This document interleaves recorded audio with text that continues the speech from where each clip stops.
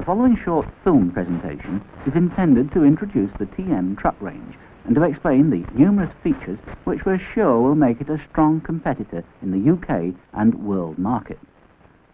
If you recall, it was at the June 1970 truck conference that we made our first TM presentation. At that time, we'd used a cab frame supplied by an outside bodybuilder and one that is much in evidence on British roads today. It was a cab that provided the dimensions necessary for a Detroit diesel installation. We'd been afforded the opportunity to redesign much of the front face of the cab.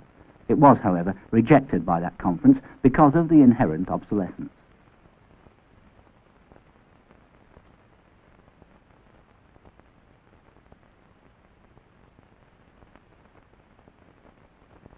The cabs that were held in higher regard at that time were the DAF 2000 and 2600, Mercedes,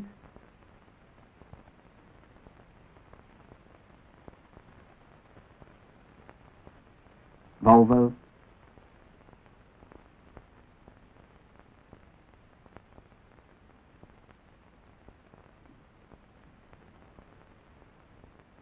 Scania, and Fiat. We began an intensive study of these European cabs to find out precisely what we had to match and improve upon in terms of cab layout and driver passenger comfort. These studies provided the comparative data used by the engineering, styling and manufacturing team in establishing the best package parameters. To cover the whole spectrum of cab usage, it was essential to develop a modular design that would provide two cabs of different overall width. In achieving this, it's been necessary to create a style that's motivated by good proportion and the simplicity of form. The cab shown here has an overall cab width of 86 inches. This permits its use on Dutch B roads.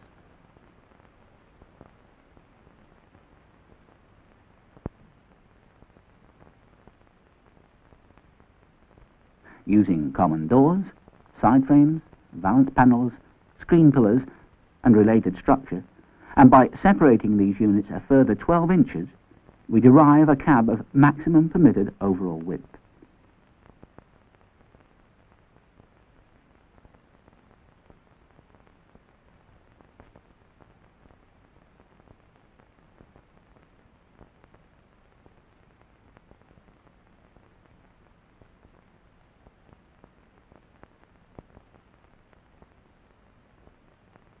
The overall graphics of both cabs are sufficiently similar to ensure strong product identity, while at the same time providing design flexibility to suit their different specifications.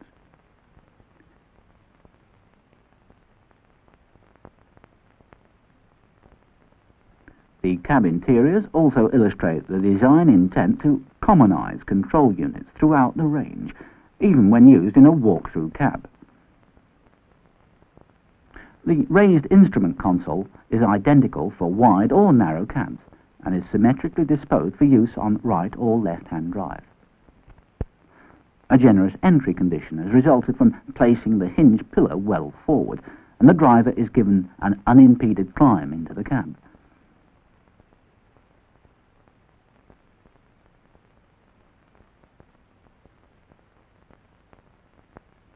Instrumentation and controls have been arranged for the best driver orientation and developed into a design theme incorporating all safety and serviceability requirements.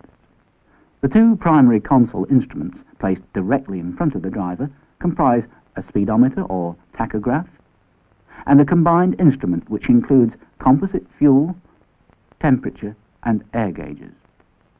This instrument also houses the warning lights which are connected to the primary system showing brake, electrical or coolant failure.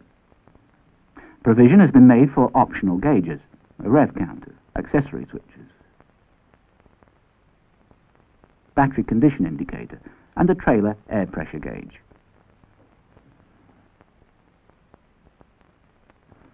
The column canopy carries all primary switches, namely direction indicator, two-speed wiper, wash, horn, and driving lights.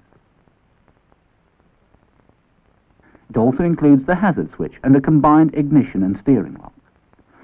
Dual heaters are fitted as standard, and the controls are accessible to both driver and passenger. Location has been provided for a radio, and this will be standard in some variants. The extensive air ducting assures a consistency of demist to the deep, almost flat windscreen. Much of the interior trim is primarily a vacuum-formed ABS, creating smooth contoured, insulating surfaces and a high luxury appearance.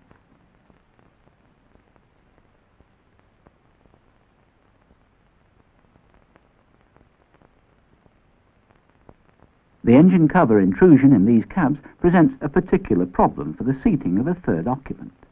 A solution to this has been developed in the form of a folding seat, which would not occupy valuable space when not in use.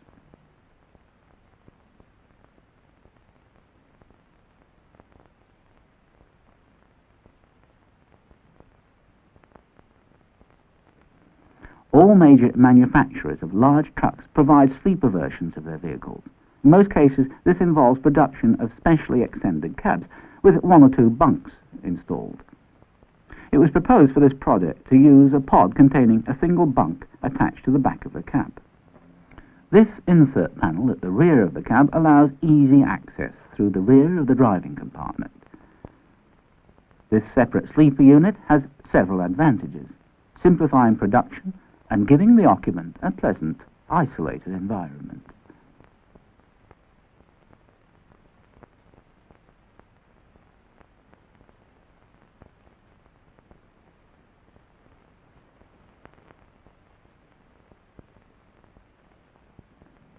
In view of the importance of driver comfort in this class of vehicle, great attention has been paid to seating design for the TM. The type shown provides a wider range of adjustments. Each of the four cushions is independently adjustable. Height, back rate, and profile can be changed by the driver to achieve his ideal position for control and comfort.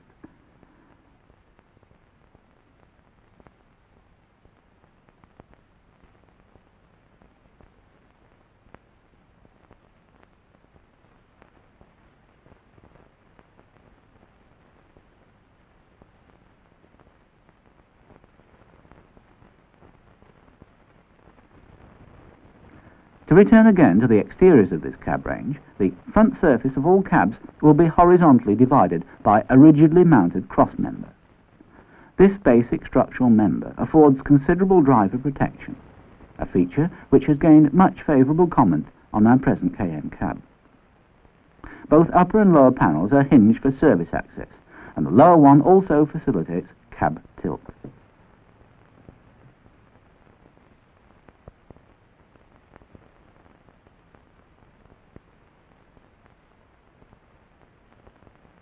The Bedford name badge, which like so many of the European truck manufacturers' name badges creates the focal point of the front-end graphic theme, will be a reflective decal. Extremely durable and extensively used in the automotive world, the decal will be fitted at the plant and protected during transit by an adhesive mask.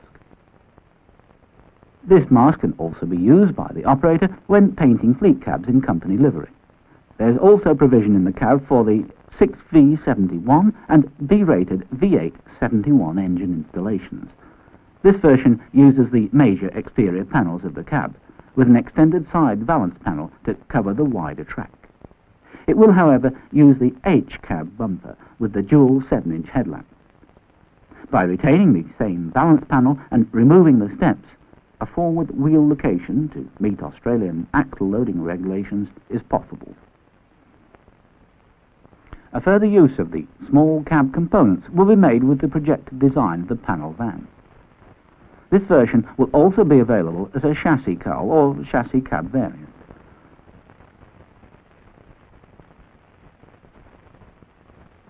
The rendering shows the modified front end using small bumpers, headlamps in the body panel, and a new side valance to accommodate the use of smaller wheels and tyres.